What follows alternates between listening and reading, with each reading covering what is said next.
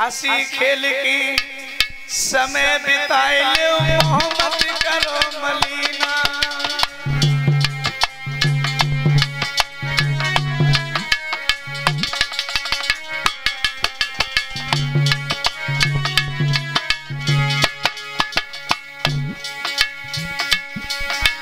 जो पत्नी तन मन धन से करे पति की सेवा ए माता बहनों बड़े समझने की बात है। जो पत्नी तन मन धन से करे पति की सेवा बतयंत समय पे गुंठ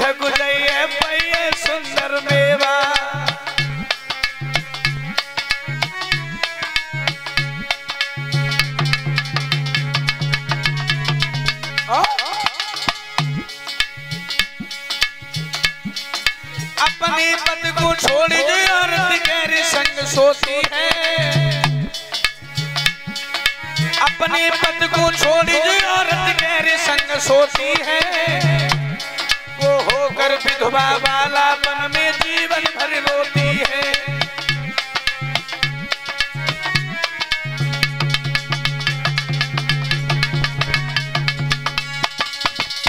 याद रखना माता आप घर की लक्ष्मी कलेश नहीं करना।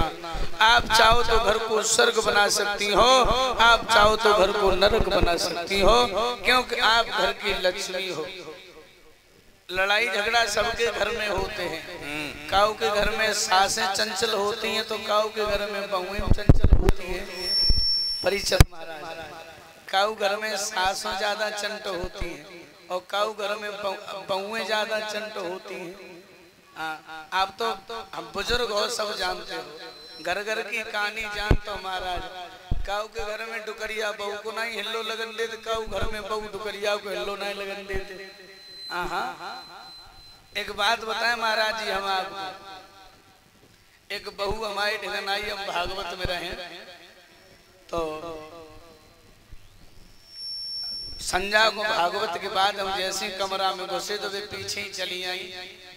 तो हमके बताओ का बात? की बाबा, एक बात कहो चाहता हूँ कि कह ले कही, हमारी डोकरी हमारी सास है, हमसे बहुत लड़ती है, महाराज। कोई उपाय ऐसो बताओ जो हमारे घर की लड़ाई बंद हो जाए?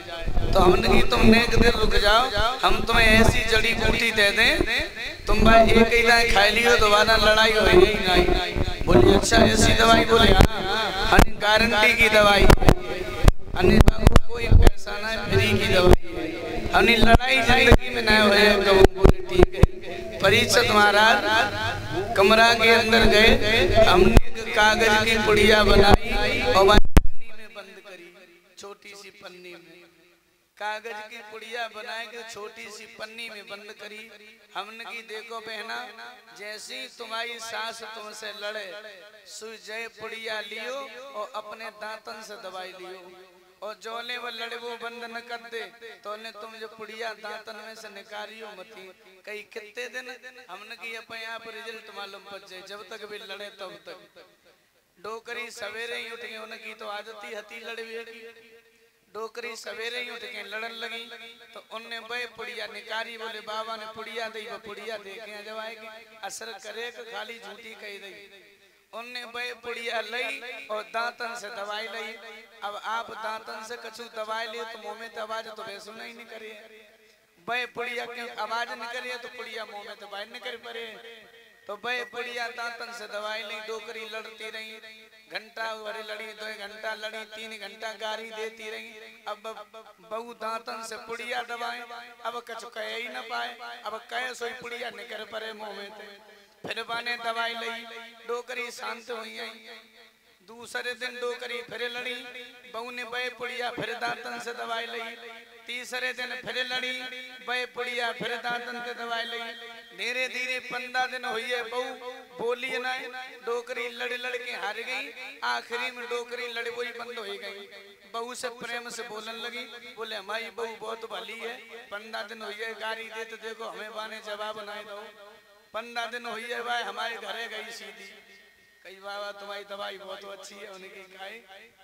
हमारी सास हमसे बनाए लड़वो बंद हो जाई अब बड़ा हमसे प्यार से बोलती, हमारे बिना पूछे कछु काम ही नहीं करती, न कहूँ जाती है। तो हमने वो पुड़िया कहाँ पुड़िया दिखाओ पहले। परीक्षा जी, हमने वह पुड़िया खोली वह पुड़िया में कुछ हाथों ही ना। बोले, महाराज जी, जब दवाई आती, सो कहाँ है? हमने जब दवाई आती है ना तो फिर वे लड़े वो कैसे बंद हुई हमने जब तुमने उन्हें जवाब दो ना, बराबर गाड़ी ना नहीं, बराबर ना लड़ी। लड़ थक गई बेचारी बोलो लड़ती रहती अब दोनों ओर से जवाब देते रहते तो लड़ाई चलती रहती लड़ाई कोई बंद ना कर हाँ तो याद रहे माता बहनों, अगर सास लड़े तो तुम बोलो मती। दो चार दिन लड़िया पैया बंद हो जाए तुमसे लड़ू और बहू लड़े तो अम्मा तुम जत्ते मत बोलो, निकल जाओ लड़न दे दीवार मूड मारी का हाँ जब तक बोलो ही मती। और दोनों ओरी से जवाब दियो तो तो जूता चलिए, कोई चिंता ना। हाँ हाँ लड़ो ही मत बोलो ही मत हाँ। और दोनों ओरी से जवाब दियो तो तो लड़ाई हो ही हो घर में। बोलिए गोविंद भगवान की याद रखना। शुक्राचार्य से जाकर के का पिताजी।